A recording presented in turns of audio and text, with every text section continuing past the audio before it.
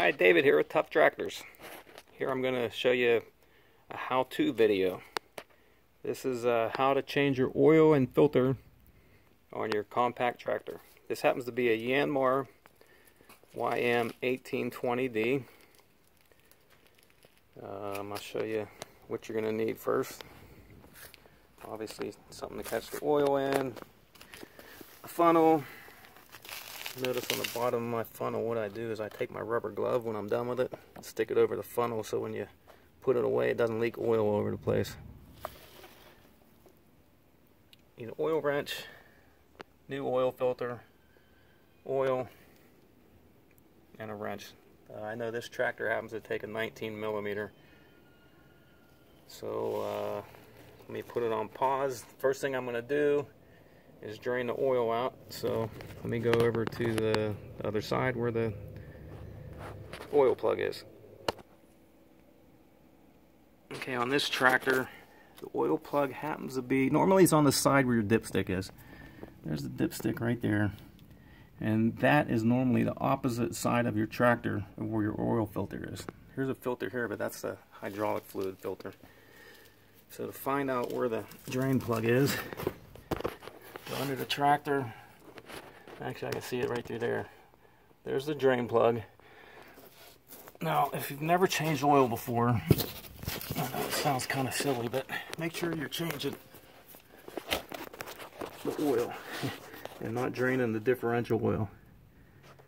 Okay, your oil pan is going to look like that. That's your oil pan right there. That's the plug you don't want to change something up here on your differential or somewhere else. It's going to be directly below your engine. See all those bolts right there? I don't know whether there's probably 10 millimeter bolts and there's probably 20 or 30 of them. That's your oil pan. So there's your drain plug. I'm going to loosen that up with my 19 millimeter wrench. I'm going to put my oil pan under it and I'm going to start draining the oil. Okay, here we go. It's draining out. You see it coming out of there. Down into my oil catch pan. Another thing you'll have to have too that I didn't mention, some rags. So let that fill up. That's the oil plug right there. Just a bolt. Make sure your washer's on it. So when you put it back, you tighten it up, it doesn't leak after 20 minutes of driving. So I'm gonna let that go out and I'm gonna go over to the other side where the oil filter is and uh, show you that part. Okay, like I said, the oil filter on the tractor is typically on the opposite side. So here's, you see, here's the side of my tractor. There's the oil filter right there, and of course, you know, because it's a tractor, it's protected. You don't want some log or something to hit it. So I'm going to have to take off the side panel right here and take off this panel before I can get to the to the oil filter. So I need a 10 millimeter wrench and I'm going to take all that stuff off. Alrighty, I've got the side panels off. There's that cover that protects the oil filter.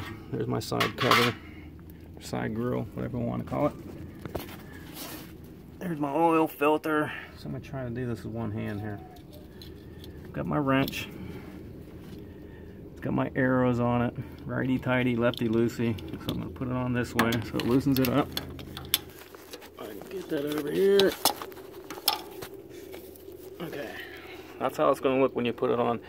Some of these tractors will have a little uh, valve here or gauge that checks the engine temperature make sure you don't hit that when you turn this. Actually, there's the sensor right here. Some, some tractors, it's right here. And if you turn that, believe me, I've done it before on tractors.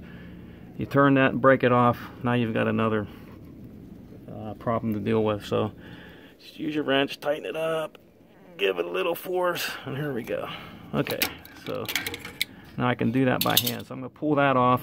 I move my little uh, catch pan down here so it's going to catch everything. I'm still draining out the, the oil pan too while I'm doing it. So, all right, let me put this on pause, pull that filter off.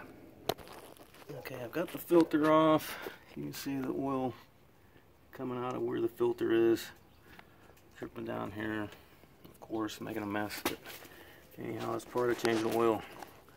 Okay, one thing you make sure. Here's the new filter. There's the gasket right here. Make sure that there's not a existing gasket left on here, so kind of clean that off.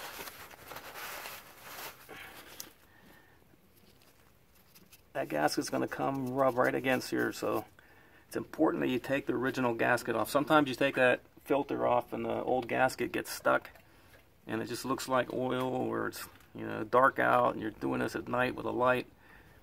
Believe me, I've done it before. You leave that gasket on, you put your new filter on, and 10 minutes after starting it up, oil's going to start gushing out of there. And you'll say, what the heck did I do?